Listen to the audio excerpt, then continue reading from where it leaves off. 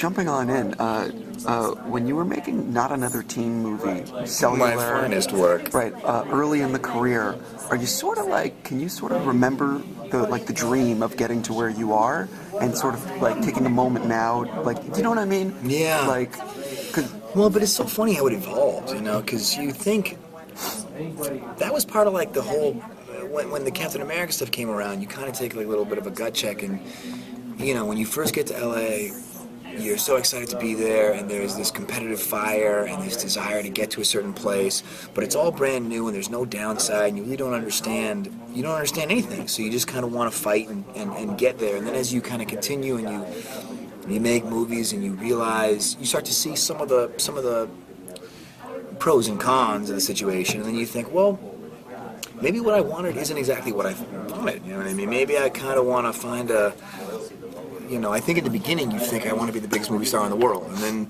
the more movies you make, you're like, well, I don't know if I want to be that anymore. I think I think what I'm looking for is something different. You know, I, I like acting. But a lot of times, stardom comes with a lot of strings attached, you know. And then you look at other careers.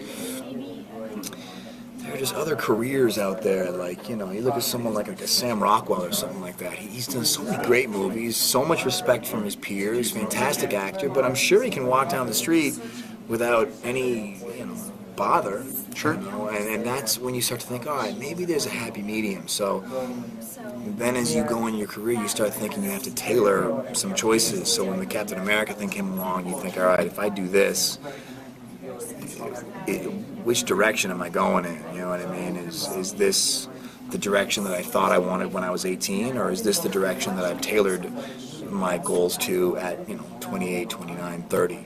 Um, so it's a little more apprehensive. I, I don't even know what the question was anymore. No, I, I know. I know exactly what you're saying. But a lot of people don't realize that you were very apprehensive about signing on for that role, Yeah. and that ultimately, like, what's funny is later in the interview I was going to say to you that, like, I believe most of the Marvel people had to sign eight, nine picture deals, and I heard with you it was more like a five picture deal. We got six, you know, which was good because initially it was nine, and I, I can't do nine. Yeah. But even six, man, six, you can do six over ten years. That's Sure. a big commitment. And I don't know. But isn't there something to be said? Like, like I think, like one of the reasons why it's great seeing you in this movie is that you disappear in the role. Like, it's, Sure. you don't even realize it's you. Yeah. But don't you also think, though, that being part of the Marvel universe, and especially with like Avengers making so much money, um, like, like it has to be a little bit rewarding, though, that like your work's being seen and appreciated by like millions around this planet. Yeah. You know, there has to be something to that. Without question. Without question. And not only that, it's it's work. I got this movie because of that. You know what I mean? If I hadn't done that, you know, James Franco had this role and he fell out. And when he fell out, I know Ariel as a friend, but he called and basically said, listen, you know, I know how independent films work. They obviously crunch the numbers, and putting me in the role worked uh, for the numbers. You know what I mean? Foreign sales, whatever you want to call it. That wouldn't have happened without Cap. That wouldn't have happened without Avengers. So I owe a lot to that. And it is nice to have your work seen. It really is. It really is. Um, Because perhaps also there's going to be an audience out there that seeks this out, your Marvel fans. Yeah, That yeah. will be like, oh, I want to see him in this now. now, see, I guess you know what it comes down to. I'm such a, I'm such a little bitch.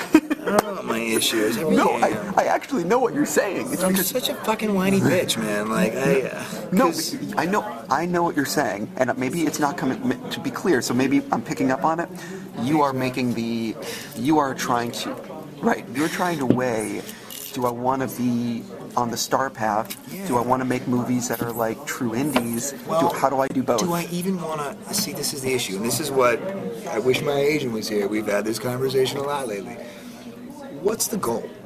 Is my goal to be a giant movie star? And you start to realize, at least I have in the past couple years, that's not my goal. And it's a very strange thing to realize. It's a very strange thing.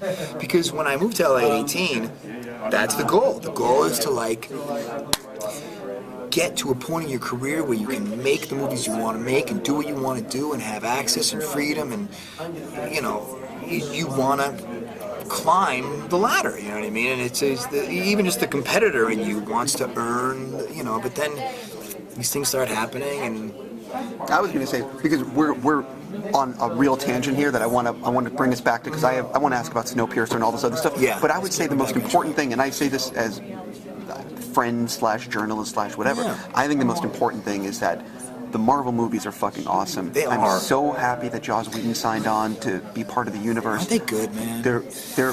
I, And it's so crazy because they don't make those big studio movies. Let's be honest. How many times do you go to a movie and see a giant studio movie and walk away happy?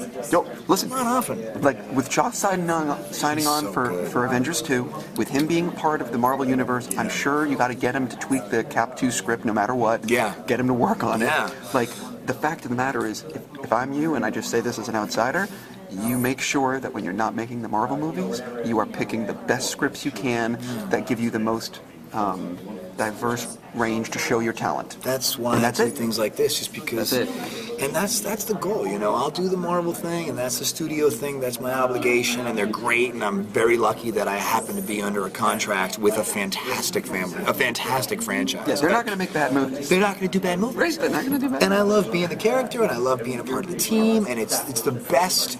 If you got to be under a six-picture contract, you can't find a better one. I've always wanted to know this, and tell me real quick. If you do a cameo as Cap in, say, Thor 2, like the end That counts to the contract. Does it? Yeah. Maybe we'll talk when this is off about how that's already affected. That's happened. That's happened. Well, that's what I mean, because like, I, Because you, you can go through the Marvel movies and see where that's happened. Yeah. And where that's affected oh, contracts. Well, no, 100%. Because I say, like, here's the thing, like, I love those buttons in the credits. Sure. I love those interconnected tissue. And, like, I love you as Cap. I'm, tell- I'm talking to you as, like, a fan Yeah. as well as, like, representing fandom.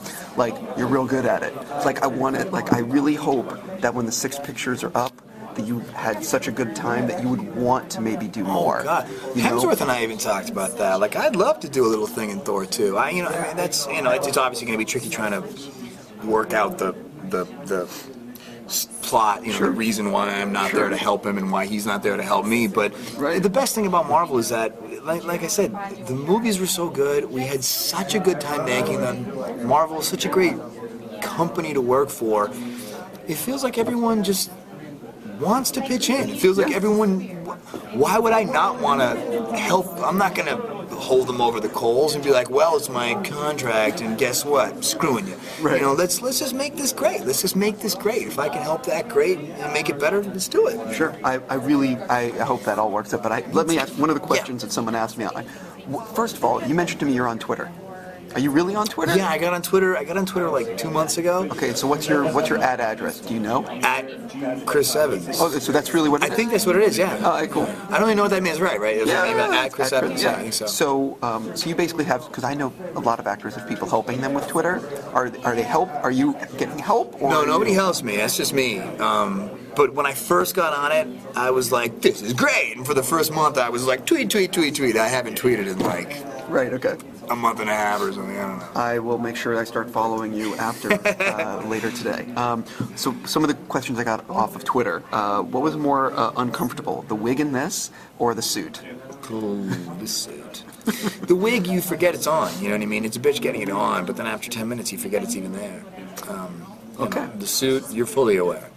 Totally. Constantly. You got to work with Michael Shannon, who is a very gifted actor. Sure is. Talk a little bit about getting to work with him and uh, just like, you know, walking away from that experience. Yeah. Well, he's just fantastic. He's so committed. He's so, you know, you get him offset, and he's a happy guy, and he's a cupcake, nicest guy on the planet, and joking and laughing, having a bottle of wine, having a good time. But then on set, the guy has a focus and a commitment and a, a dedication, and it, it that, that, that, that type of uh, intensity, it, it breeds allegiance. You know what I mean? When you're around a guy who's so uh, in his zone, um, you can't. It's infectious. Um, so so, and, and he's his his acting style is so grounded. You know what I mean? And with this character, um, you know, this my my character is pretty out there. So you try different levels. You know, you might try the first take here, and the next take here, and the next take here, and you know, you, as you rise up, Michael stays steady and almost acts as an anchor. And, you know, after you try things kind of further and further off the wall, you kind of feed off of him, and it brings it back down to a, a neutral place or a realistic place. So it's it's like playing basketball with with you know Michael Jordan. He's just going to make you better.